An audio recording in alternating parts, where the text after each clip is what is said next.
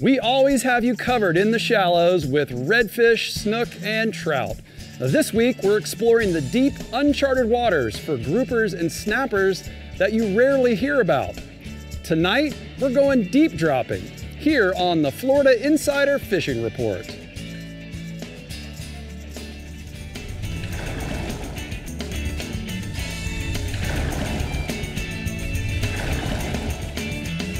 Welcome to the Florida Insider Fishing Report, presented by Yamaha. Hello, Floridians, and welcome back to the Florida Insider Fishing Report. We're taking you into the month of August, and by we, I mean Captain Tommy Derringer from the Alta Equipment Northeast region, and I. Thanks for being here and filling in for Rick this week. Thanks for having me. Like Uh, I, I ch- channeled my inner Rick with my Ricky Red tonight. I see that. I'm very proud of you. He'd be proud as well. yeah. Well, we hope everyone had a successful Yummy mini season, and if you couldn't get out there, good luck for opening. But this week, we're pulling the crew together and going deep dropping. Tommy and someone who is always there for us is Dave Farrell at the CCA workbench. So, Dave, are we drowning in the deep end today, or what? Yes, we are. I got a little disco ball working over here. Is that what that is? Yeah, that's what they call that. Little Yeah. disco light. For some S words? Got to have the And other light, or you're not going to get a bite. There you go. Yeah. Look at you Keep rhyming. dropping. We're off to a good start. Yeah, We we're gonna are. lean heavy on Dave tonight. He's the deep drop man. Yes, he is, the master of sheep dropping over there. All right, to start off, we're dropping our lines into the Casa Vieja Southwest region where Captain Ronnie Houston is on top of the bottom. Tell us what we're bringing up, Ronnie. Well, truly, it's really a pres- pleasure tonight to have to deal with the famous Tommy Derringer. Uh, seeing much, Tommy, it's good for you being in there. You know, bigger boats, bigger motors, bigger fuel tanks. In the last couple of years, guys are making the runs. You know, in my region, it's generally done in depths of about 500 to 1,100 feet, according to Captain Mike Avanon. But you can start as close of about 450 feet just west of Naples, and the common areas are really Fort Jefferson to 40 miles north, otherwise known as the Pulley Ridge, and a lot of guys are making them runs now. The common species are blue line, golden tilefish, rosefish, queen and silk snapper, along with the snowy yellow edge and rockine snap, uh, snapper. You can really purchase deep drop rigs from R&R Tackle. It'll save you the time and effort. They're already rigged to save you time and work. And the legs you're probably going to need are anywhere from one to five pounds, depending upon the current. And you're basically using the same common baits as if you were fishing a little closer. You know, squid and live pinfish are the best baits, but Mike Avanon tells me there's nothing like cut bonito will also work well too. And I got a prime example of some fish that are being caught in the region making those runs. A couple good pictures there. You know, uh, still on the offshore side, the red snappers and the groupers, that bite has been great. Uh, mixed bag from Naples to Fort Myers Beach. Right now, the depths are anywhere from 150 to 190 feet, and you're targeting structure with bait stacks, especially picking your moderate weather days to make them runs. Now, the live pinfish and the squid have been the best baits, seven to nine old circle hooks, and 60 to 80 pound fluorocarbon. But if you don't have the desire to make that long run, guys are catching red groupers right now in depths of 50 to 75 feet fishing structure, whether it be big or small. But there's a catch to that program. You're catching a lot of smaller grouper, but you will get some occasional size keepers mixed in. And the best baits in those depths right now are just simply your cut baits, your cut herring, sardines, or squid. I got a nice picture of a nice big grouper that was caught while fishing with Captain Mike Avanon out in those 150 to 190, uh, 100, 190 feet depth. Uh, before I go inshore, got to give a big shout out to my guy over at Berkley, Steve. It's a pleasure working with him. You know, with the new hard baits that came out with ICAST, I get to do the testing. I get to play around with the product. 90% of my fishing is done with artificial. So, big shout out to uh, Steve from Berkley. On the inshore report, the snook. We'll be getting a lot of rain. Everglades backcountry due to all the rain. We have received the amount of fresh water, a lot of fresh water. You can start as close as the boat ramp, outdoor resorts, and you can run all the way to Lostman's River. But you want to concentrate on fishing those windier days and lower tides, especially with easterly winds and the tides that we're having this week. Wind-blown shorelines, points with current, and feeder creeks. Now, when you're in those creeks, concentrate on the bends in the creeks. Fish are waiting for baits to be flushed through. Baits of choice right now for me have been the Berkley Choppo 90s, the Berkley Hijackers, a new color, the Bass Assassin Sea Shad, Texas Rig, and Electric Shiner in color, along with poppers and chugging lures, and nothing beats the Berkley War Pigs, half ounce. If you find those fish on those creek turns, once you find them, they seem to be stacked up. And I got a prime example of a nice fish that was recently caught in the southwest region. Last species is going to be, and due to the rain, the juvenile tarpon, actually throughout the whole region. Plenty of fresh water flowing through the region from the north all the way to the south. Now, your Peace River, your Caloosahatchee River, your Imperial River, and your Fakahatchee River, as well as lee shorelines close to where these rivers dump out. Now, the prime time to get out would be early morning or just before dark or afternoon after the afternoon rainstorms. Once you see these fish, you want to approach these fish with stealth. Try not to make too much noise. The baits are relatively simple. They can be prop baits, chugging lures, flies, orange paddle tails, white chartreuse bucktails, especially the brighter colors like chartreuse, pink, orange, white, or black and gold. And I got a nice picture of a nice golden juvenile tarpon caught while fishing with Josh Greer up in the Punta Gorda region. Weather is looking good for the weekend. Ron, thing you want to concentrate on is getting out and beating the storms. Get out, catch you some fish. Thanks, Ron. Man, always an awesome report from you, Ron. Here are the Caddy Can hot spots for the Southwest region. Inshore, redfish in Bull Bay, Turtle Bay, East Wall, and Matlacha early in the morning using topwater walk the dog lures and cut baits later in the day. And then offshore, lane snapper and red groupers in Gordon's Pass to Sanibel in 55 to 75 feet using a variety of cut baits. The squid seems to be the best. Well, Ronnie seemed pretty happy that you were hosting this man, week. What a shout wow, out. That was man. great. Good for you. Wow. All right, in the Fish Bites East region, deep dropping for a certain species is possible as long as you find the right bottom. So if you're looking for grouper, check out the wrecks and reefs. But if you're looking for tilefish, find some mud. But don't take my word for it. Take it away, Holliday. Yeah, you know, Brie, the deep drop bite is pretty consistent in my region, and you can do it two ways. You can do it over mud bottom for tile fish and rose fish and barrel fish, or you can go over the wrecks for the deep water grouper species. Most anglers use electric reels, three or four hook circle rigs with up to 15 pounds of weight, depending on the current. And as a rule, the best tile fish action in my region takes place in anywhere from like 500 to 800 feet of water. You just have to find that mud bottom. Um, find the mud, use enough weight to bounce the lead in and out of the mud, and that creates those little puffs in the sand that attract the fish. And for bait, it's pretty hard to beat a, a whole squid or a chunk of squid, but anything from a strip of bonita to a chunk of mullet or ladyfish will work. And if you're targeting the grouper species, you just need to track down some of the deep water wrecks, uh, and you can fish Warsaw grouper, or or you can work the reefs out there and atolls like uh, around Push Button Hill off Stuart. There's a lot of snowy grouper off that. Uh, the average tilefish is going to be like five to ten pounds, where the grouper can range, you know, ten pound snowies up to 100 pounds or more wreck fish. Um, so deep dropping is kind of what you target. I got a photo that's um, Carl Fleming. He got that nice uh, golden tilefish off of Jupiter. He was in 600 feet of water, and that fish ate a whole squid. The other bite going on is a dolphin bite, which remains kind of hit or miss, but you can improve your odds by covering a lot of water and working your way offshore where there's you're more likely to be the first boat to put a bait in front of the weed lines. Inshore on the weeds and in that less than 100, 150 feet, you're going to find a lot of smaller fish. Offshore, you'll find find the bigger slammers and gaffers. The weed remains thick, making it kind of difficult to troll. So most boats have either been drifting or you know grabbing some binoculars and kind of running and gunning and stopping every mile or so to look for floating debris or diving birds. When you see something that looks good, you just run over to it and either troll baits by that area or pitch out live baits. Um, you want to give it a little bit of time for for the fish to find your bait. If you don't get a bite, move on. I give it 10 to 15 minutes at the most, and then I'm out of there. Average dolphin right now is 5 to 15 pounds, but we're seeing them up to about 30 pounds. I have a photo of a, of a nice dolphin that Jonathan Anderson caught. Caught that fish in 150 feet of water. He was just drifting along a rip in that in the middle of all that scattered weed when that fish ate a live pilchard. Nice. Mike, tell us about the tarpon. Well, the resident tarpon bite's starting to heat up in, in the Indian River, in the St. Lucie River, and in the Loxahatchee River. So places like the Boy Scout camp up in the Loxahatchee, um, Harbor Ridge and the in the St. Lucie River, and the Crossroads and Big and Little Mud Creeks um, in the Indian River, all producing fish. The best action's been, you know, dawn to mid morning, and then again late in the afternoon. Uh, the midday bite can be good if it's on an incoming tide, but the heat has really shut down the midday bite on the outgoing tides. Uh, so later in the week, next week, you should see a pretty good midday bite. There's also been a good number of fish moving around the bridges and inlets at night. Live mullet have been the hot bait. in any of those places.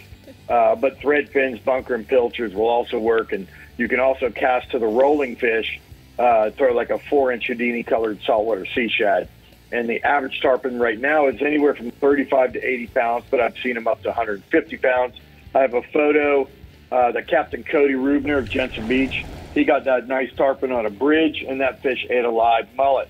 The other bite we got going, the wind is finally laid down. That's really fired up the catch and release snook fishing on the beach.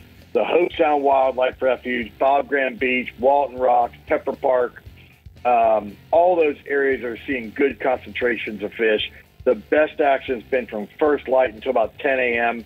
That's when the fish can't get a good look at your lure or fly. In the middle of the day, it's almost all a live bait game. At the same time, all the inlets in the region and the Lake Worth and Juno piers have good concentrations of snook on them. In the inlets, live bait's king. Threadfins, pilchards, croakers, sand perch, and sardine are going to be your top baits. And the average snook is 8 to 20 pounds. I have a photo, my last photo. Uh, Elizabeth Willard and Lori Loud, they teamed up to catch this overslot snook. They were fishing in the St. Lucie Inlet, and that fish ate a live threadfin. Nice, Mike. That's a nice snook. Tell us about the bass. Well, despite the summer heat, the bass bite on Headwaters Lake in Kenansville has remained pretty steady. I was talking to Captain Nathan Shellen about OkeechobeeBassFishing.com. He said you want to be on the water in the dark and throwing top water prop baits, frogs, or swim baits like a you know bass assassin, bluegill flash colored Boss Shiner. Work those baits along the edges of the hydrilla or the lily pads or in the holes in the grass as the sun gets up, the fish are pushing under those hydrilla mats, particularly out in the open water. So you want to just find those open holes the deeper water and fish the edges of the holes with either a June bug colored tap out worm, rig Senko style, or a hematoma shad colored RSB worm worked on a Carolina rig. The, also, the, other, the live shiner bite's been fantastic in the canals and along the edges of the hydrilla. You want to use a larger hook or just a small split shot to get that bait down a bit.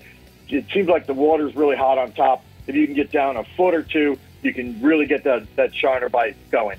Right now, it's a 20 to 40 fish morning with the average bass one to four pounds. But guys are still catching them to eight or nine pounds on headwaters, and it, and a lot of really nice five, six, seven pound fish every day. So Headwaters Lake just continues to be one of the hottest lakes, not just in Florida but in the country.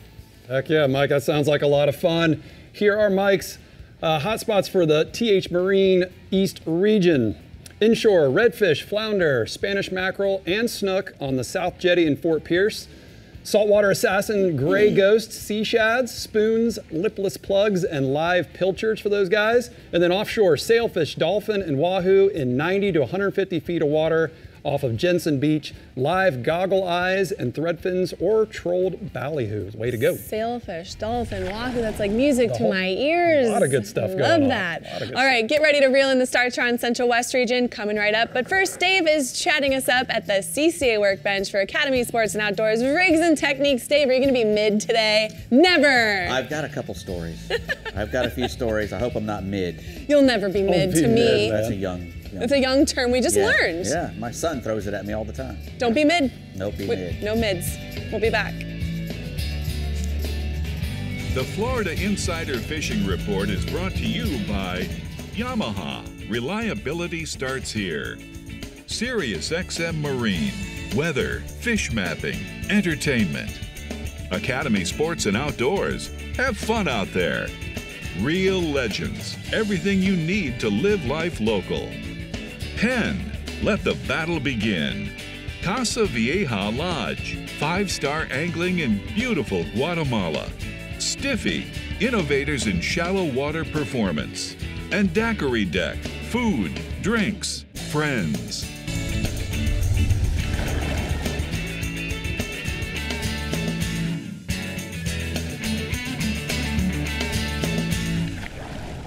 Right, Dave, we're here at the CCA workbench for the Academy Sports and Outdoors Rigs and Techniques. We Yes, got sir. some stuff that I don't know a whole lot about, so Well, you got to tell me about. you're joining it. me right along with you there, Okay. pal. I mean, I've done it a few times. I've actually, I actually had a really good trip once, but I'll tell you, um, deep dropping is is used to be done a lot by the commercial guys. They'd go out and catch a bunch of snappers and groupers in deep water. They had the gear, you know, electric stuff. And There wasn't a lot of recreational guys doing it Right, because yeah. the, the gear was real expensive, you know, six, seven grand for a rod and reel and all that back then. Uh, it, the prices come down a lot, and the advent of braided line made a huge difference because you know you have to have huge spools when you're using monofilament line. All right. And but you can use if you're using and braided sinks, line. right? Sinks fast. Yeah, braided line doesn't absorb water. It sinks fast, and it you can feel every tick. And I found that out right when SpiderWire first came out. This first Spectra line, and a big SpiderWire. It was all over ICAST and everything. Do uh, that. we went out on a trip that week uh, to Bimini with Ron Chapman, Dave Workman, and uh, Doug Olander, Sport Fishing Magazine, and we all had these big Italian reels.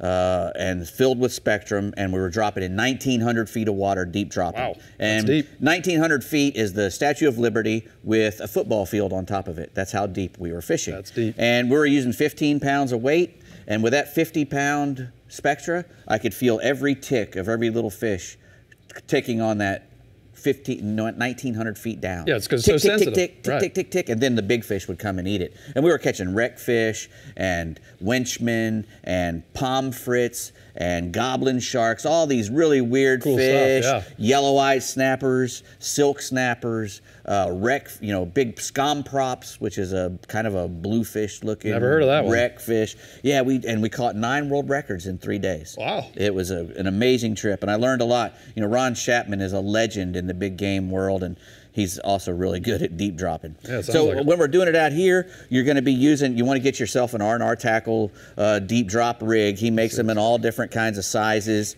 uh, from all from a little five aught up to a 10 aught. The five aughts are great for the blue line tile fish. Uh, some of the little other small fish down there, the red uh, red bellied black fish or whatever, rose fish. It's called Yeah, red belly yeah. bread.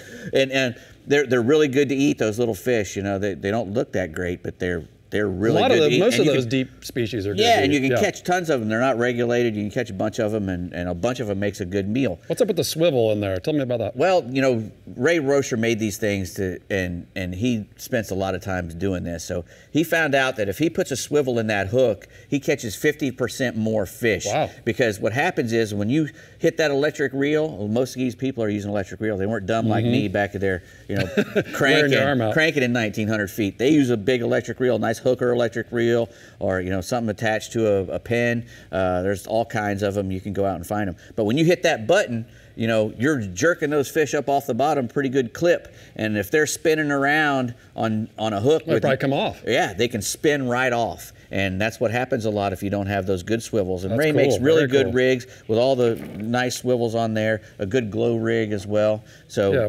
Tell, so what, we got some lights.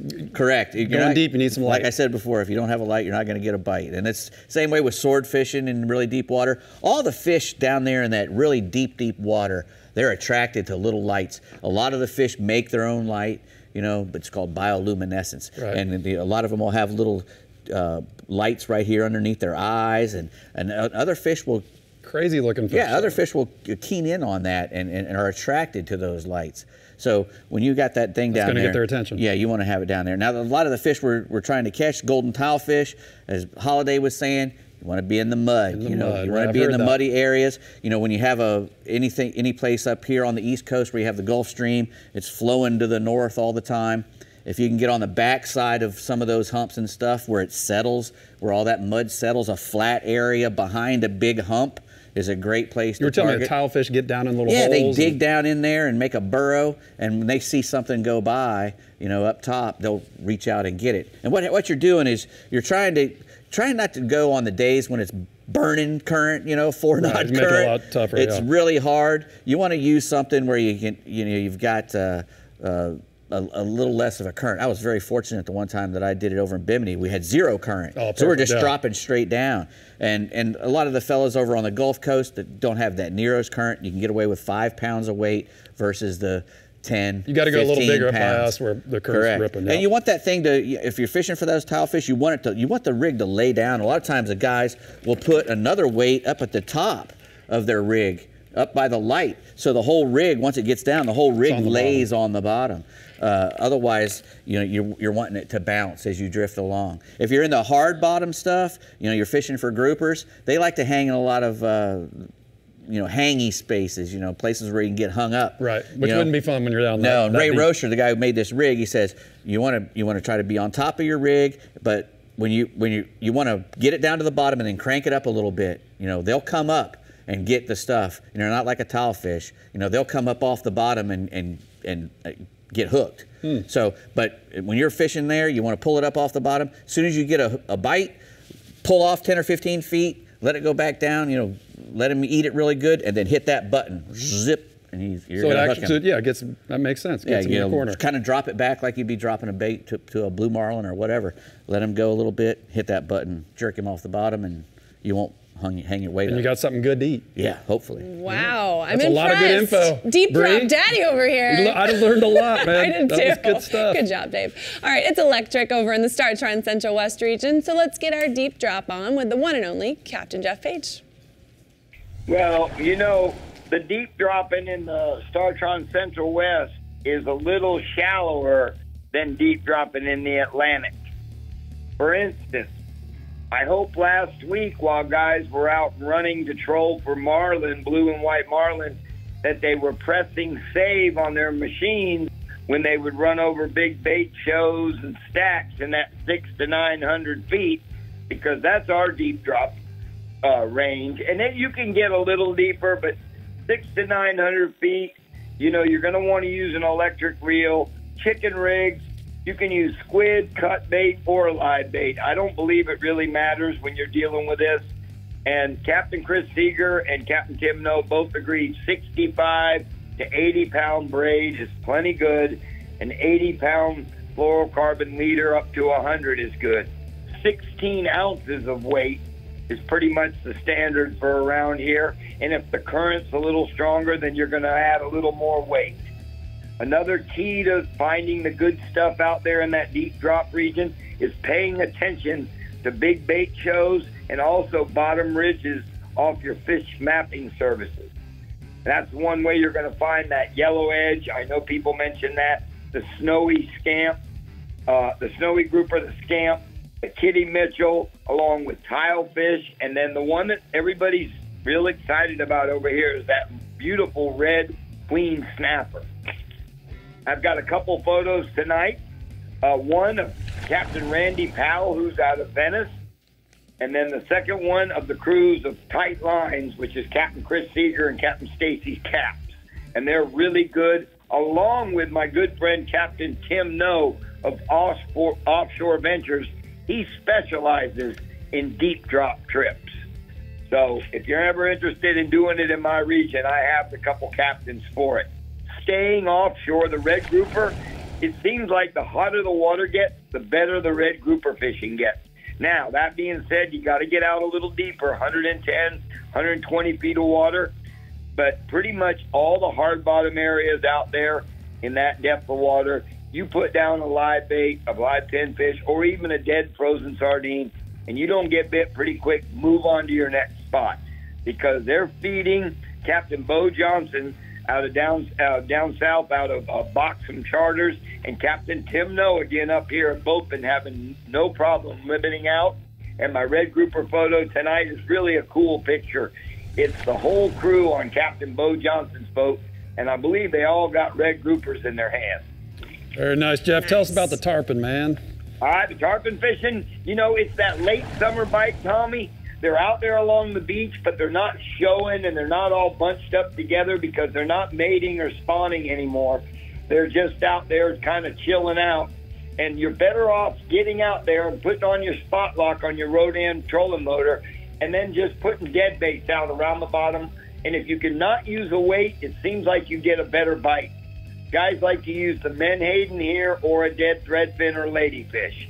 If you're into nighttime fishing around the docks and passes of Longboat Pass and New Pass, real good. That Berkley 110 stick shad in that pearl white color works real well. Got a, I got two photos of the same fish tonight. That's Captain Clark Wright sneaking a picture of the fish jumping. Somebody took a picture of him taking a picture, and then the last one is of him pulling the tarpon boat side. And my last uh, species tonight, redfish. I keep getting good reports, and I know it's because of these afternoon thunderstorms. We just had one now, and the redfish are bunching up in the mouth of Manatee River around all your docks and spoil islands in Palma Sola and Terra Ceia Bay. And you can use a cut pinfish underneath the mangroves, or if you're into throwing artificials, I like using that white fish bite shrimp on a quarter ounce jig head that I can skip way under there and then barely move it out of there till you feel that thump. Again, the braided line helps. My last photo tonight is with a happy young angler that was part of the Sarasota Fish Camp out of Sarasota with Captain Devin York. Nice, Cutie. Jeff. Yeah, he looks stoked, man. All right, thanks, Jeff. Great report as always. Here are the Daiquiri Deck hotspots for the Central West region. Inshore, fish for speckled trout on deeper grass flats in Sarasota and South Tampa Bay. Try a white paddle tail or plastic shrimp tied to an eighth ounce jig head, one foot under a popping cork, and then offshore, Red snapper will, might remain strong in 110 to 150 foot of water. Live pinfish as well as cut sardines on a standard bottom rig. That's going to get the job done. I love when those kids are up here with their fish. It just makes me smile. It makes It's me so good- happy. it's I don't think time. anybody can smile when they see a kid holding That's a fish true. smiling. It's best. like It really is. I want to see you try not to smile. All right, listen up, Floridians. If you want to win your share of $500,000 in prizes just for catching fish, the West Marine Star competition presented by Yamaha runs through Labor Day and offers anglers and non-anglers a shot at some winning some great prizes and cash just for catching fish and picking up trash. But you can't win if you are not a CCA member and registered in the competition. So get on board and check out the details at ccaflstar.com. Main thing is, get registered. If you're a. CCA member and you catch that fish and you're not There's registered, a lot of good stuff to be it's had. gonna I mean, be get registered. That's it. real sad. That's all I Gotta can say. do it. All right, come with us as we discover the depths of the Yanmar ASV Keys and Reel Legends Central East regions coming right up, plus another Chef Michelle Bernstein recipe Hmm. you're not going to want to miss. So stay hooked and we'll be right back.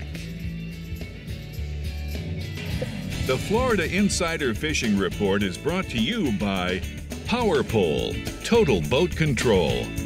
Berkley, your fish, our science. Bajio Sunglasses, blue light blocking, radically clear lenses.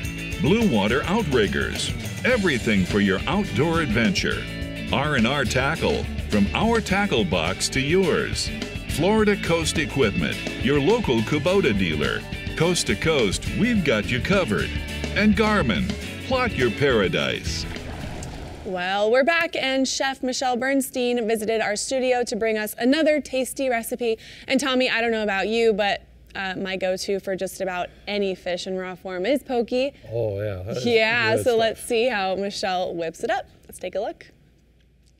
So, guys, you can see our official chef of the Insider Fishing Report, Michelle Bernstein, is with us today.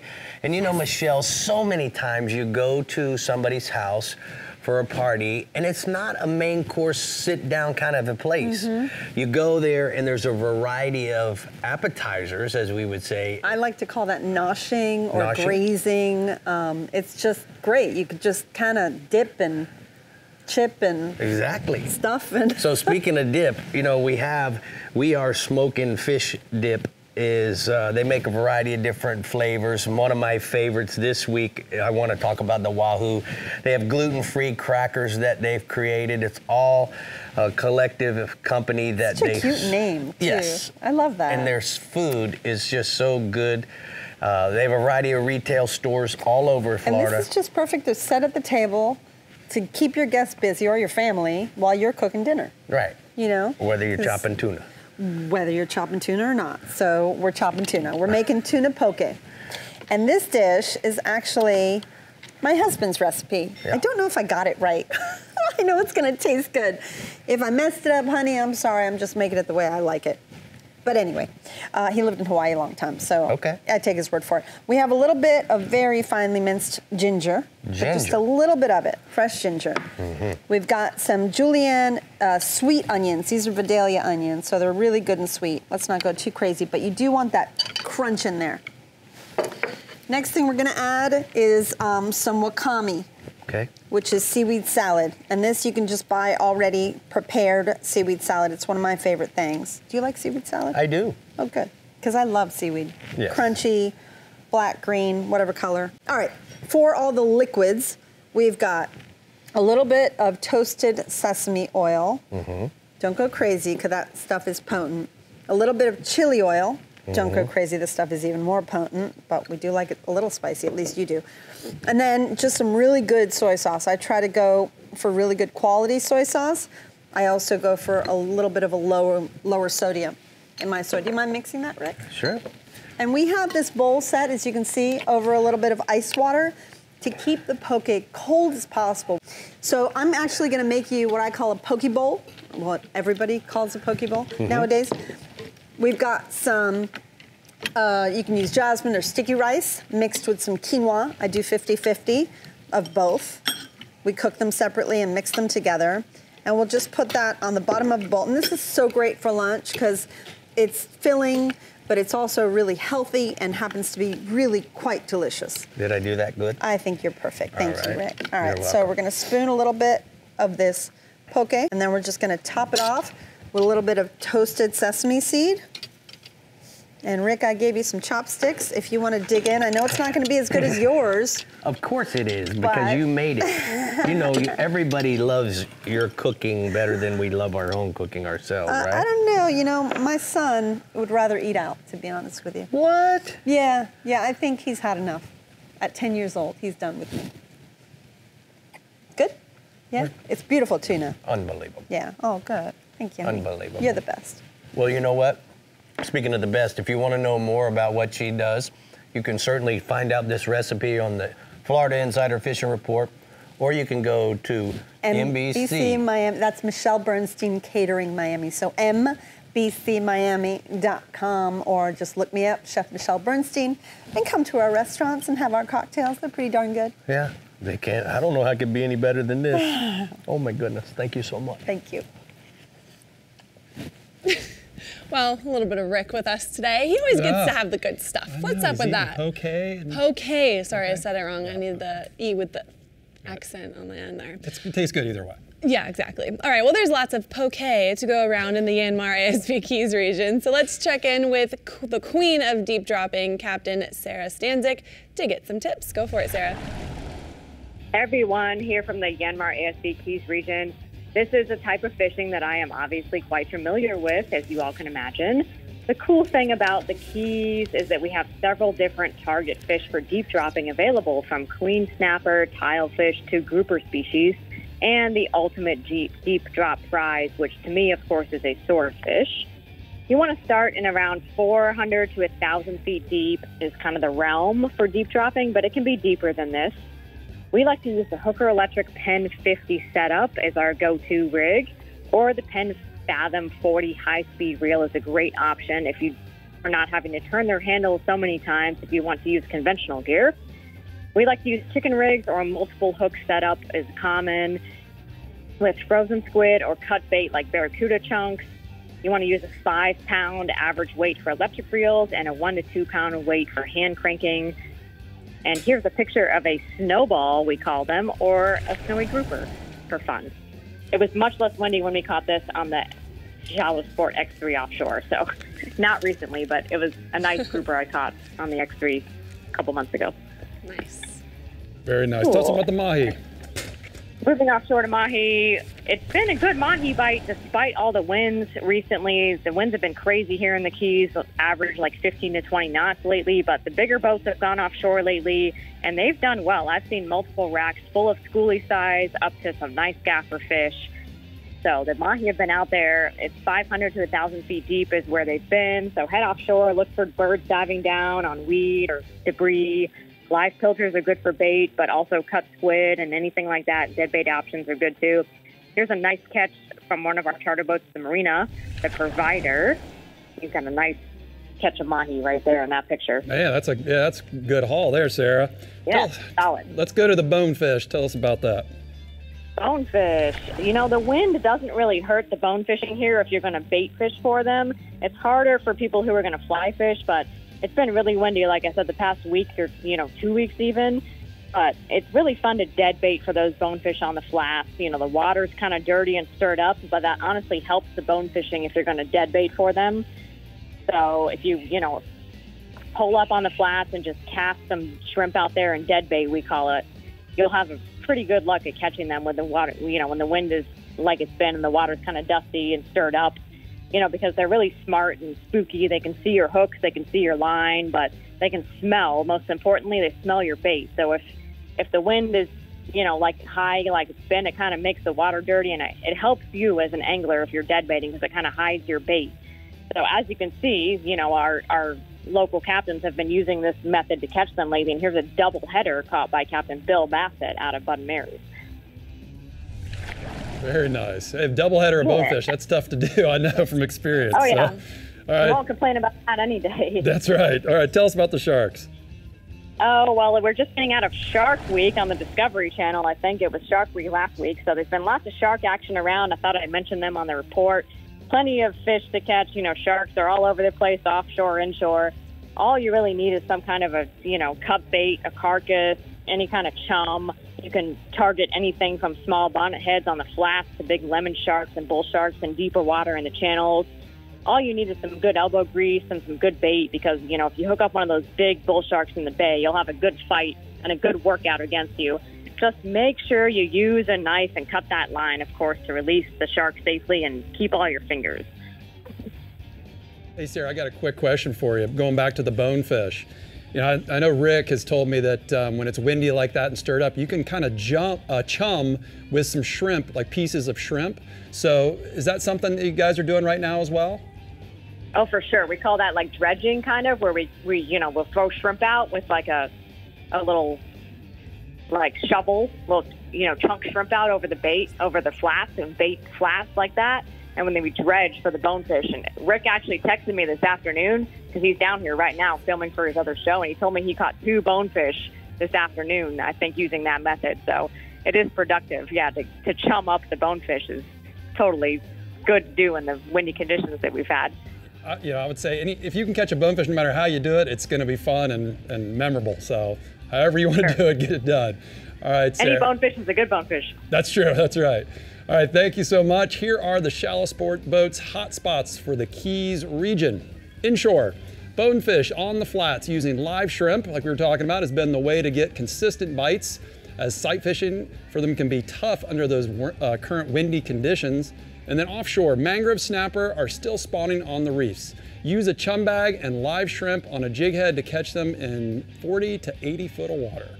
Tommy, I don't know if you remember, but Kaz and Randy Tao hated catching bonefish. Hated going fishing for bonefish. And Oh, yeah? it's Sarah's favorite species. I, hey, they're fun. I go. love bonefish. There you They're go. great. To each their I'm own. with Sarah. Okay. Team Sarah. Okay, now let's take a look at some tournaments going on in the Florida Keys. First, we have the Herman Lucerne Memorial Backcountry Fishing Championship, where anglers fish only in the boundaries of the Everglades National Park, areas that Lucerne favored to target tarpon, redfish, snook, sea trout, snapper, bonefish, black drum, or bass.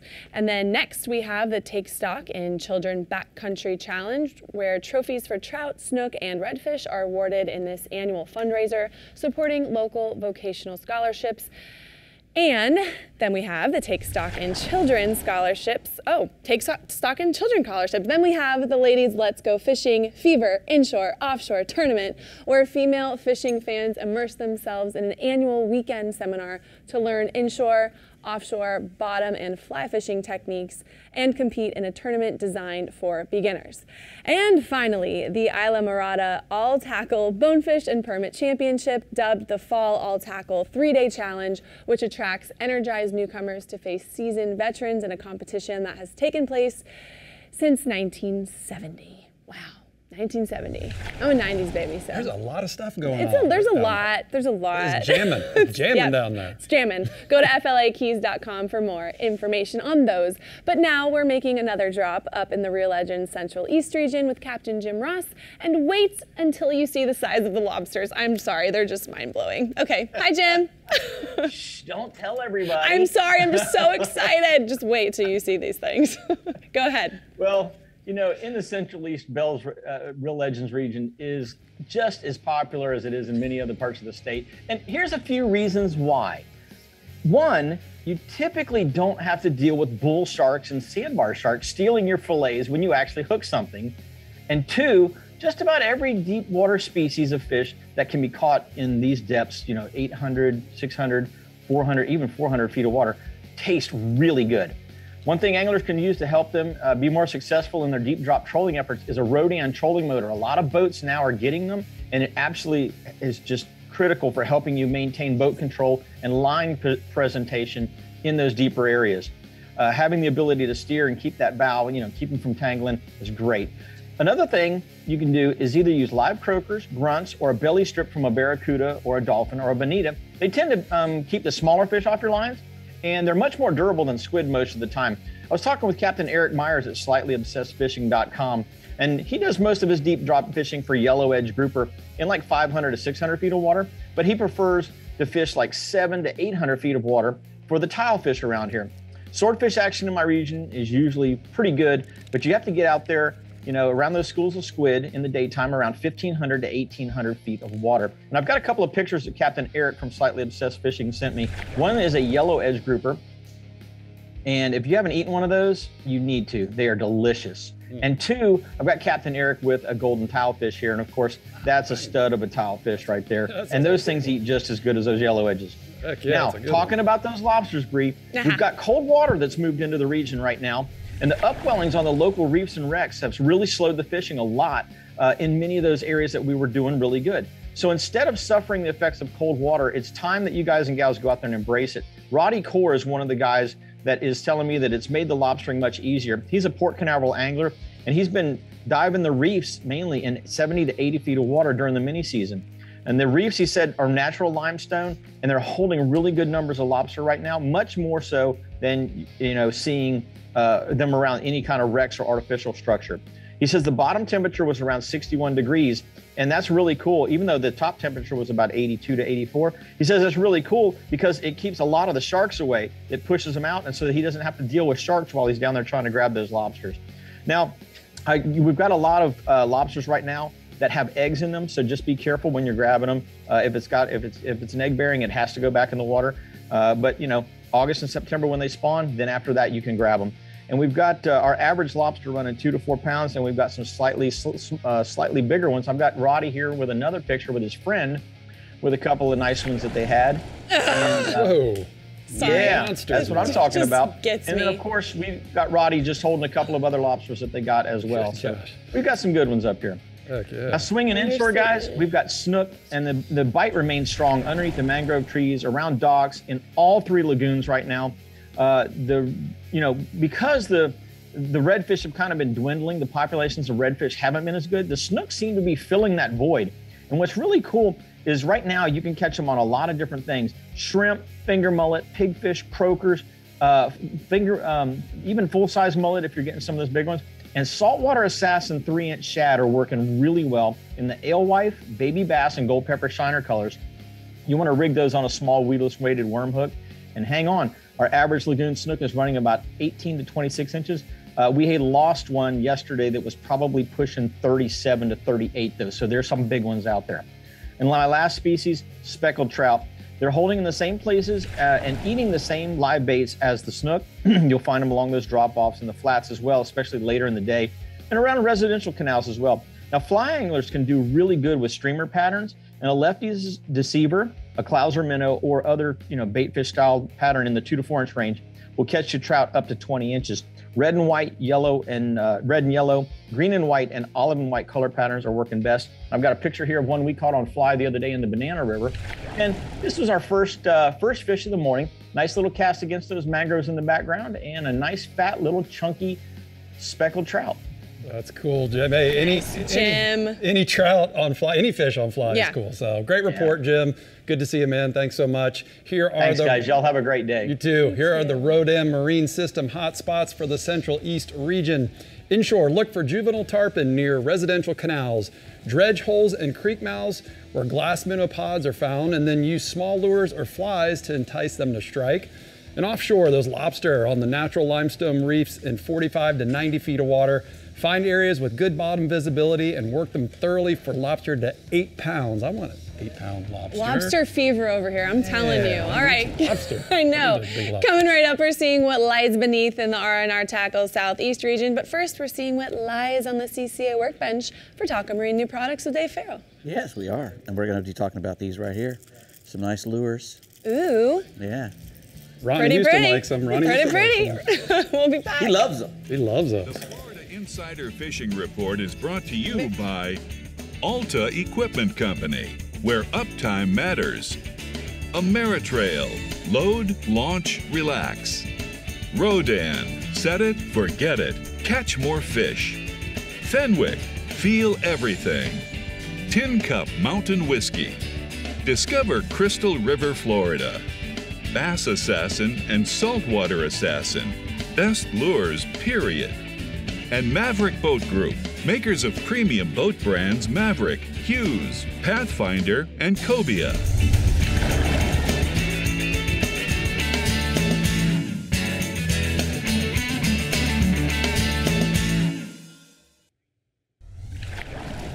All right, Dave, we're here at the CCA workbench once again for the Yep. Taco Marine new products. We got Yep. some cool stuff here, it looks Trolling like. the edge, we are, that's for sure.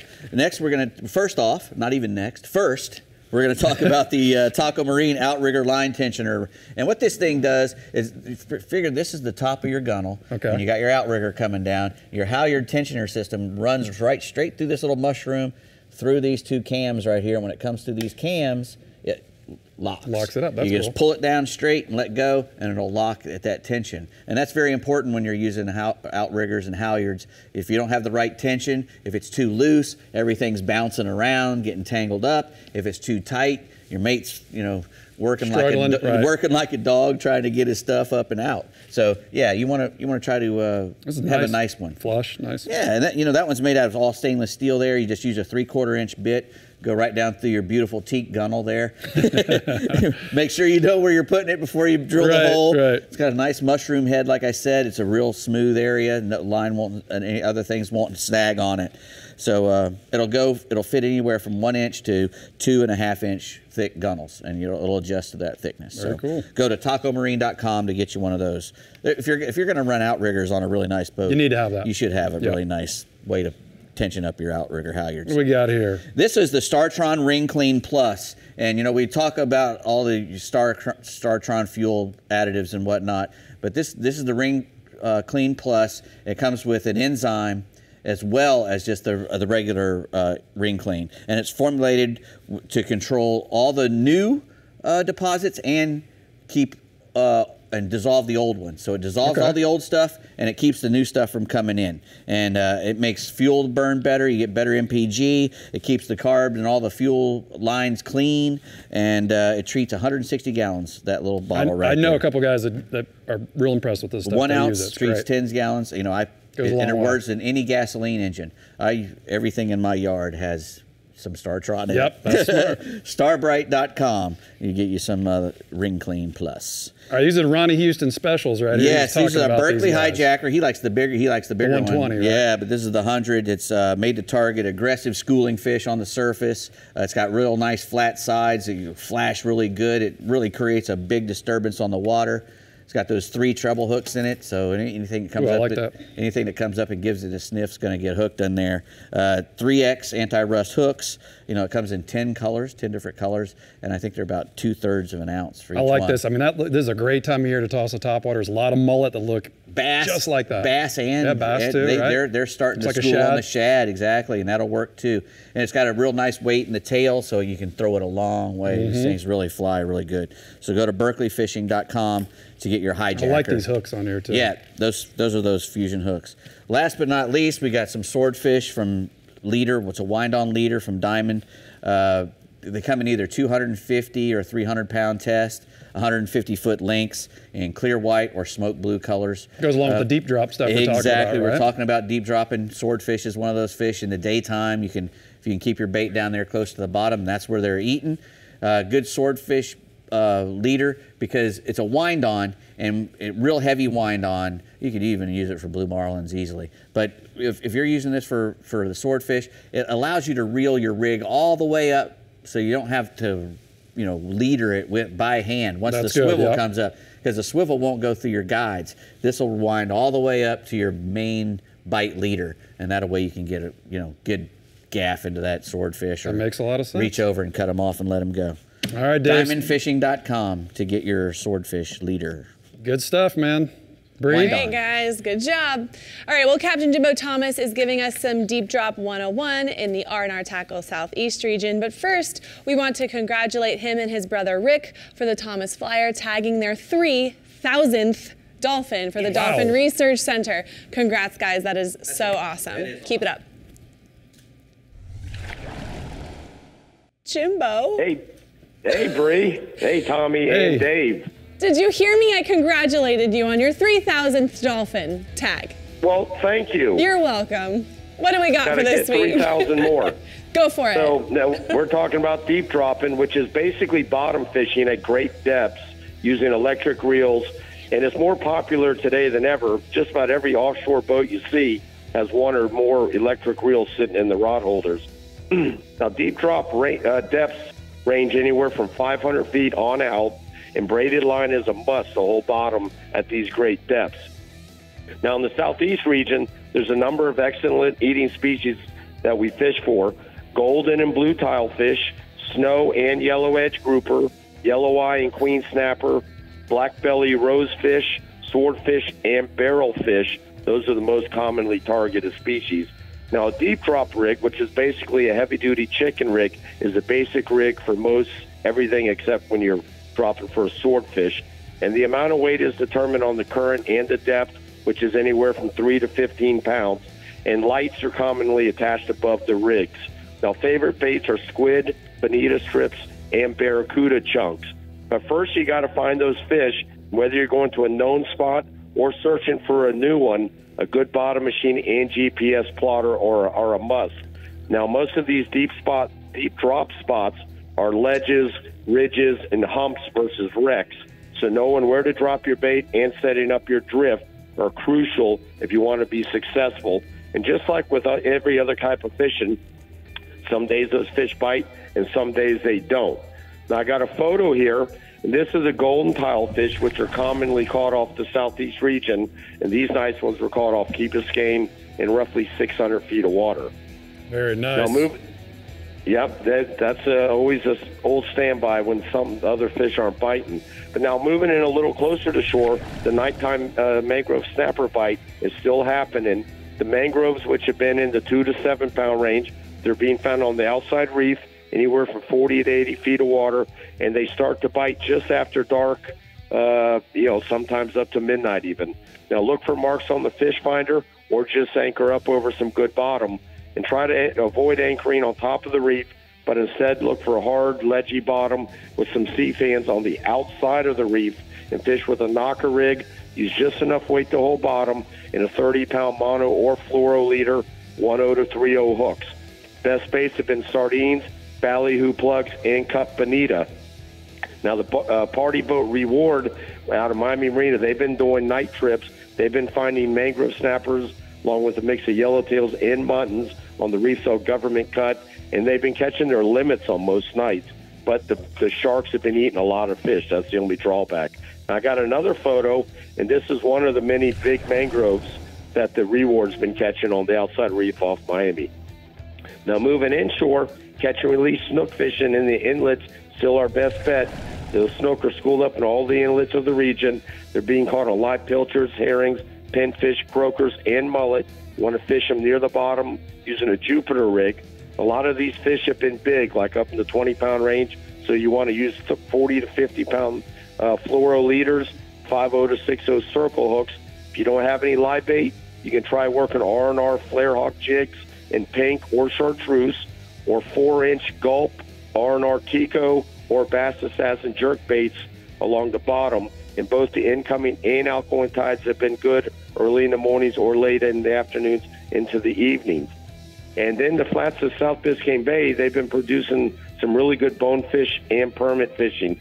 Now, any of the outside flats from Soldier's Key, South to Angelfish Creek, they've been really good, especially on the incoming tides. And these tides we've had lately have been extremely low, so there's been a lot of moving on the a lot of water moving on that incoming tide. Small blue crab is what the permit and bones have been feeding best on. Also, crab pattern flies have been working along with live shrimp. You want to get out there early in the morning before those flats get too hot up to the boiling point. That's right, Jimbo. You got to get out early this time of year, man. You sweat to death otherwise. Uh, thanks, Jimbo. Here are the What Are We Smoking Fish Dip hotspots for the southeast region. Inshore, fish live crabs for permit and bonefish on the outside flats of Biscayne Bay. And then offshore, look for nighttime snapper on the edges of the outside reef using cut bait on the bottom. 3,000th tagged dolphin. That's a lot. That's awesome. And he goes, We're going to get 3,000 more. You go, Thomas Flyer, you go. You get it. All right, Tommy, the Garmin Panhandle and Discover Crystal River Northwest regions have some, actual, they have some deep drop numbers they're giving to us next. Oh. So y'all better stay tuned. You won't want to miss those. I think I got their attention. Yeah. The Florida Insider Fishing Report is brought to you by StarTron. Start, run, and store with StarTron. CCA Florida, the voice of recreational anglers for over 35 years. Fenwick, feel everything. Strike Zone Fishing. Diamond Fishing Products, our reputation is on the line. Berkley, your fish, our science. Murphy's Law Sport Fishing. Book your trip today at murphyslawsportfishing.com. And Yanmar ASV, a leader in compact equipment. Welcome back, everyone. This just in from Pat Deneen in the Garmin Panhandle region. No numbers will be given, but he is going to tell Mm. us how to catch some bottom dwellers you might find there. Go for it, Pat. Hey, Brie and Tommy. Uh, tell you what, deep dropping it has become really popular in the northern Gulf. Really, the last five or six years, it's, it's just exploded. Uh, target species inv- include swordfish, tilefish, groupers, and snappers, and, and all the deep drop rigs include at least one light source and, and a natural bait. The, the swordfish rigs are uh, sacrificial weight, a, a light fairly close to the bait, and another weight uh, and the weight, and then often another light well up the leader. Uh, to target the swordfish, you know, you're looking 1,200 to 1,800 feet of water uh, around the spur, either north or east of the spur, and also along the steps. Uh, bait for sword fishing includes a skirted bonita, a dolphin strip, or either a naked or a skirted squid. And then for the for the other fishes, the snappers, the tilefish, the groupers, those rigs involve five or more circle hooks above a heavy weight with a light source at the top of the swivel.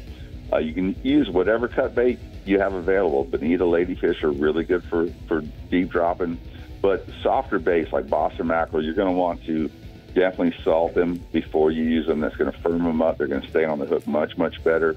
Uh, for the tilefish, drop the uh, drift the mud bottom areas in 900 to 1,000 feet of water on the north side of the spur and also north of the steps. For the snapper and gr- grouper, you're going to want to find some hard bottoms, some structure. So target structure in 600 to 1,000 feet of water. Uh, good chart of the Cross Gulf pipeline, basically the, the pipeline that goes from Louisiana to Tampa. It's a great start, a great place to start to find some productive hard bottom areas. But really, whatever deep drop species you're after, a few drops go offshore usually put some pretty good eating fish in the box, especially if the trolling slow. Make a few drops. Um, staying offshore, the dolphin fishing has been pretty good the past couple of weeks, both well offshore and also closer in. Uh, bigger fish are mostly going to be found out deep, but floating objects near shore are often holding lots of smaller chicken dolphin. For the smaller fish, cut bait and jigs on light spinning tackle can be a lot of fun. A little bit of chumming with cut bait will keep that school nearby and, and also feeding aggressively offshore beyond the 100 fathom curve. Uh, ballyhoo and smaller plugs trolled along weed lines and around floaters can pr- produce a much better grade of mahi. Again, have some spinning tackle rigged and ready with either cut bait, live bait, or jigs. Because if, if you go and buy some of that floating structure and the, and the dolphins are still there, but they've quit biting, you know, shut her down and come up and, and start using that spinning tackle. Offshore, the dolphin can run north of 20 pounds, while near shore, the fish are usually less than five pounds, but they've been pretty numerous near shore. Uh, moving inshore, inshore, reports of big Spanish mackerel are coming from all the bays in the panhandle. They're being caught on the deeper grass flat edges, off the roll downs, and on the points. Uh, I spoke with Captain Todd Jones in Panama City. He's reporting his best action is on the falling tide, chumming and freelining with small menhaden. Live shrimp, either freeline or suspended under float, are also very effective. A long shanked hook on your live bait or a trace of 40 or 50 pound mono. It's going to minimize the cutoffs. And then over towards Pensacola, Captain Wes Rose, where he swears by the chugger style topwater baits, fish over grass in eight to 10 feet of water. And there's some really good quality Spanish being caught up to and over five pounds. They're great eating if cooked fresh. They don't freeze well. And Captain sent in a really nice picture of a Spanish mackerel caught over in Panama City while free lining for life, uh, free lining menhadens. And Tommy, that's a pretty fish. I don't know how you like about Spanish, but that's some good eating right there. Yeah, that's a good one there, Pat. All right, tell us about the trout, man. Yeah, Tommy finally in short. Uh, Captain Sean Chalker over at Port St. Joe, he reports good trout fishing early and late on the deeper grass edges in St. Joe Bay. The water inshore is really warm. I mean, pushing 90 degrees right now. So these deeper edges are the places to be. Bigger fish are coming by live bait with pilchards, spot minnows, croakers, and pinfish, either free lined or lightly weighted. Seeding the area that you're fishing with live chum will definitely help fire up the bite. Lure fishermen should go with a topwater bait at first light and a quarter ounce uh, jig head with, with a paddle tail soft plastic later in the day. Chicken on a chain or a chartreuse with a pink paddle tail is always good combinations speckled trout. Trout are running up to and over 20 inches right now. I'm with you, Pat. That chicken on a chain's a good, great color, actually. Chicken on a chain. Chicken yeah, on a chain. It really is. All right, man. Thanks so much. Here are the Blue Water Outrigger hotspots for the Panhandle region. Inshore, troll live cigar minnows and herring for king mackerel and dolphin over bottom structure and around bait schools. And then offshore, mangrove snapper on live pilchards and shrimp around the Destin Bridge. Well, Tommy, lucky us, you are kinda. You are here in the studio, so why don't you tell us all about the deep dropsies in the Alta Equipment The Northeast? deep dropsies. well. You know, we do have a few, very few people like to deep drop in our region, so. Mhm. Um, and it does happen, we have to go way out, but I'm going to kind of skip the deep dropping this time and talk about the snapper bite we got going on right now. It's really good. You know, I spoke to a couple of our offshore snapper experts this week. You know, they tell me that both the mangrove and the mutton snappers have been chewing big time. Captain Jimmy Ladler from the Legend Fishing Charters, he tells me he's been catching big numbers of mangroves in that 120 to 140 foot range just east of St. Augustine. Now, most of his fish, they're coming from a flat line. After you chum them up, you know, you get them up towards the surface using chunk sardines or a variety of other cut baits. And I also spoke to Captain Jason Hadges from J-Hook Fishing Charters. He told me the same with lots of schooled up mangoes, but he's catching some bonus big amberjack in those same areas, so get ready to hold on. And Captain Adam Jeffrey from Real Dream Charters gave me a great mutton snapper report. He told, been, he told me he's been catching some muttons this year, more muttons this year than he can ever remember. Now, Captain Adams said that he's actually seen a little less in the way of mangrove snapper, but you know what? Catching some 15 pound muttons, that's a pretty nice alternative. Yeah, and uh, it's not a bad deal. I got a couple pictures here. First one, you know, Captain Jimmy Ladler sent me this photo of Brandon Woods with one of those big Northeast Florida mangrove snappers. We get some monsters up See, there. this is what I call the deep dropsies. It's not quite deep dropping, it's just a Oh, dropsy. got It's it, kind right, of sort of deep. Yeah, you know? sure. Next photo. Captain Jason Hadges, he sent me this picture. This is a pretty killer mangrove day Wow. that these guys had. I mean, that's some good eating right there. So good job, guys. Now, also offshore, Captain Adam Jeffrey also gave me a great grouper report this week. Adam said that bite has been a little hit or miss the last couple of weeks with some strong current. On those days, it makes it a little tough to get to the bottom and fish the way he wants to. But the days where the current's been slow, they've been able to get some really nice gags to go along with those snappers I was talking about. Now he's been fishing in those 120 to 150 foot depths. He's using a whole or a halved Boston mackerel, some big baits. Know, Captain Adam also said he's been doing well with live grunts or even live goggle eyes. And I've got another picture here. This is Greg Zarek with one of those giant groupers. Look how stoked he is. He recently caught with Adam on the Real Dream. Adam catches some monster Dang. groupers, man. That would. That's, He's got his jaw on the, on the boat. He's got a shaka going on. He is I would be He's stoked if I caught that That fish, is too. An awesome fish. All right, Bree, we're moving inshore, the flounder. You know, you can tell it's the middle of summer because the best bite going on right now inshore is still gonna be the flounder. Even with the really hot air and water temperatures, those flounder, they're still chewing. And we have a great early morning outgoing tide this weekend. It's gonna set up perfect to target some flounder. The creeks closer to the inlets where that water is a little cleaner, they're holding good numbers of flounder on the last of the outgoing tide. Now those smaller runouts along the ICW, they're also holding some fish. I'm talking I'm talking like the little tiny little runouts. Don't don't overlook those little tiny runouts. They're going to sit there. And there's some uh, absolutely perfect size finger mullet schools swimming throughout the region right now. Toss the cast net, load up on those little tasty morsels because there isn't a better flounder bait than those guys. Rig them on a jig head or a fish finder rig with enough weight to hold the bottom and you're gonna be set. And most of those flounder, they're in the 14 inch range, but there's definitely some bigger ones hanging around as well. Now also inshore, like a lot of other guys are talking this week, the tarpon. You know, we're getting into the best time of year for the big tarpon in the Northeast region. They're tarpon, they're feeding in the bait pods along the beach. And there's been some really big tarpon hanging out behind the shrimp boats. I spoke to multiple captains this week that have been fishing the beach pretty much exclusively for those tarpon over the past couple of weeks, and they tell me the bite has been really good, and, and they're right, it really has been. And I talk about it a lot this time of year, and it's really pretty easy, you know, kind of sort of easy. Just cruise the beach until you find some pogies and then approach those pogies slowly. Watch for busting or rolling fish. Now I like to use a long six to 10 foot, 40 to 60 pound fluorocarbon leader, depending on what the water clarity looks like with a six to 10 aught circle hook. That depends on the bait size. Now a lot of guys and anglers like to use a float as well. I just, for me personally, I just don't like seeing a tarpon jump with a big cork hanging out of his mouth, but let the tarpon have the bait for a few seconds and then just slowly reel tight once he gets it. Make sure that you bow to that fish when they jump. That's Bow to the king. bow to the king. I mean, that's easier said than done, especially if you've never done it before, Yeah. but hey, keep it in Your mind. instinct is to not. That's right. and I got one last picture here. This is when you should be bowing. This is a shot that I took of a big angry tarpon oh. That my client hooked uh, out of one of those pogey pods on the beach, and that's that's one of That's my favorite things to do is get pictures of those guys in the air like that. With no cork. And it's really easy. Well, kind of sort of easy, but not really easy. Well, it's easy to it's easy to locate the fish if you're stealthy. You got to be stealthy. Don't run right into that pogey pod with your big motor. Stop a little short, throw the trolling motor down, or just drift in. Stealth is the name of the game. Be stealthy. All right, let's take a look at your strike zone hot spots for the Northeast region, shall we? All right, you know, hey, the flounder on the last of the early morning outgoing tide, target the creek bends and small runouts with a small finger mullet on a jig or a fish finder rig.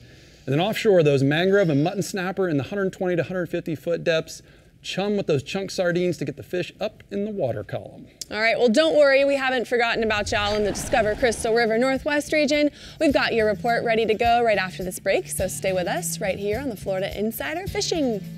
Report? Oh, yeah. Just checking you're still with me. we'll be back. The Florida Insider Fishing Report is brought to you by Yamaha. Reliability starts here. Shallow Sport. Penn. Let the battle begin. The Florida Keys and Key West. Come as you are. The IGFA. Every fish, every water, every angler since 1939. Island Lures. Tournament Tackle. Sportsman's Adventures with Captain Rick Murphy, fishing for adventure, and Taco Marine, troll the edge.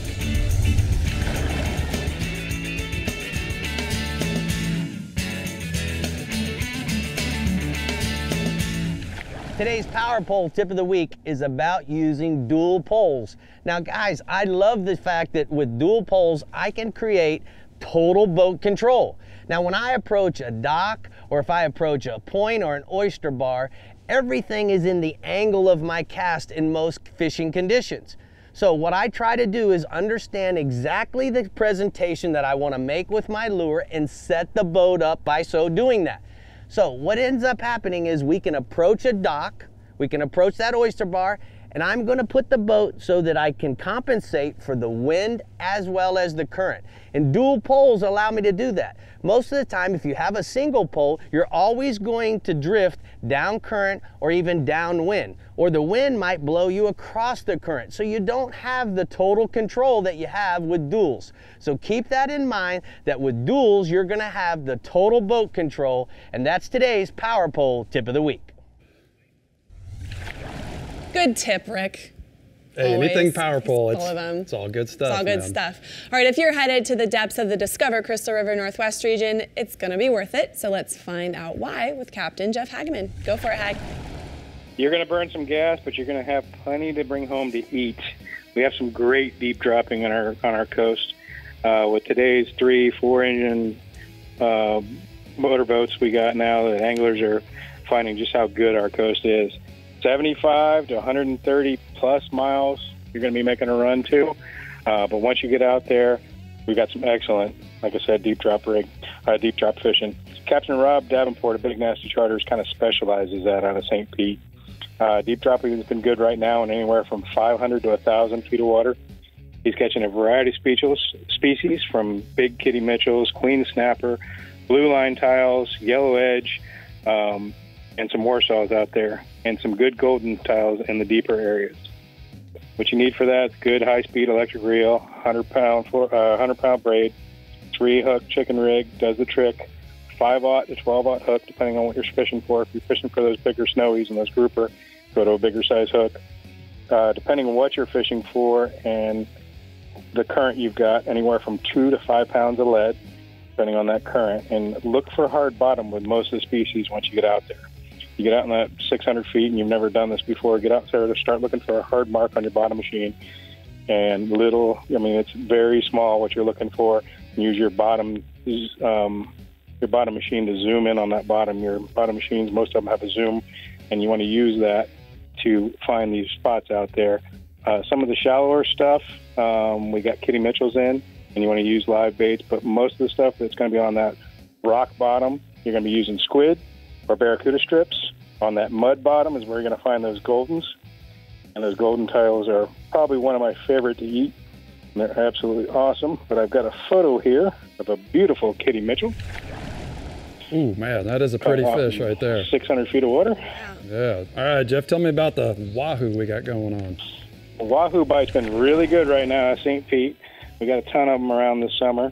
He's been catching them mostly in 80 to 120 feet of water, trolling plugs, ballyhoo. Uh, when you're wreck fishing, keep a flat line out the back. A lot of guys are catching them like that. Or on hard bottom, keep a live blue runner or a thread fin out the back, which is really good floating over the wreck. And I've got a picture here from Jason Stocks with a beautiful West Coast Wahoo. Oh, man, they are so cool when they're lit up like that. Well, they're beautiful, aren't they? Man, really cool. All right, what we fishing got? Some right now snook. inshore snook fishing has been really good. It's been our summers are always good around the beaches, passes, spoil islands, barrier islands, points, mangroves. Anything with good current flows right now is where the fish are going to be concentrated. Pinfish, sardines, pigfish. Pigfish, I mean a grunt.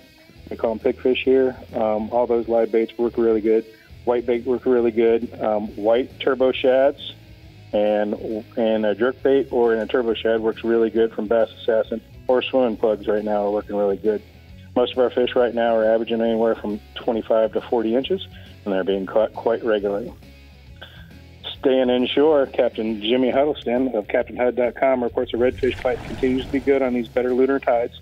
Schools of reds have been pushing onto the grass flats on those early morning incoming tides. Anglers have been best of luck using sardines in their cork and fishing the mangrove edges and shorelines and oyster bars. When that flood tide gets up there in the trees on those big tides, cut bait like ladyfish, mullet, and you want to pitch them either right in the shadow line or if you can skip it underneath the mangroves, that's where you're going to catch your bigger redfish right now. All right, Jeff. Hey, man, I haven't talked to you in a while. How was your tarpon season this year? My tarpon season was great this year. I didn't miss any days because of weather. Um, we fished through that little tropical storm we had, still caught fish, had plenty of them. Um, we didn't lose many fish, so we always had some fish to fish. A lot of times on those new moons and full moons, they'll go out and spawn, and we'll lose a major portion of our fish. we didn't do that this year. We we had pretty good trickle of fish the whole time we were down there. So awesome tarpon season. Awesome, awesome. hear it. All right, thanks, Jeff. Here are the Ozello Keys Marina hotspots for the Northwest region. Inshore, snook on the beaches and passes, use pinfish and grunts for bait. And then offshore, mangrove snapper can be found on high relief structures in 25 to 75 feet of water. All right, well, that's all, folks. That's We've it. exhausted our deep drop tips, tricks, pointers, and just about everything else to give you your ultimate shot in the dark this weekend. But don't get your lines all twisted up yet. Next, we're telling you what you're in for next week. Ooh, tin cup. That's what we're in for next week. Yeah. I'm down with I'm that. down. We'll be right back. So, Yeah, Tommy's favorite thing. Tom- He didn't I was get to gonna talk say, Tommy should have been here next week. next week. Come I'm sure Rick can, you know, Come go on. fishing for. Sure. What's he fishing for? He's out on the Keys right now. Well, I'll be fishing for flounder at least. You'll be fishing for flounder. You always send in amazing flounder photos, so we're expecting your Flounder best bite's good right next now. week. We need to go up there. And Dave, you're gonna be talking we, about we flounder need to go. Tommy. We need to go up there. we're gonna go. Tommy. Let's do it. We're gonna go. Maybe maybe not flounder, Why not? because he's booked Uh, until not flounder season. Uh, true, that is true. All right, guys. Tommy, thank you so much for being here, filling Thanks for in for Rick. me. Appreciate Always you. Dave, always appreciate you. Yeah, sure you do. Thanks for tuning in, and we'll see you next week. Bye, guys. See ya.